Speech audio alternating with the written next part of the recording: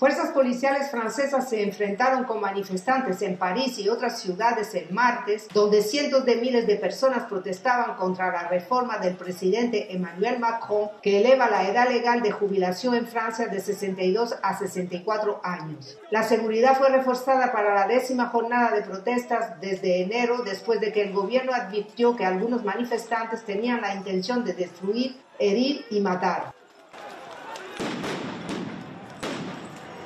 La policía de París estimó un total de 93.000 manifestantes en la capital frente a los 119.000 del pasado jueves cuando la violencia alcanzó su punto álgido. El Ministerio del Interior cifró en 740.000 el número de manifestantes en todo el país por debajo del más de un millón de hace cinco días. Las protestas y las tensiones se intensificaron porque Macron no buscó la aprobación en el Parlamento e impuso su reforma empleando un poder especial que le otorga la Constitución. En un intento de mantener la presión sobre el gobierno para que retire simplemente su medida de jubilación, los sindicatos que organizan las protestas convocaron nuevas huelgas y marchas para el 6 de abril.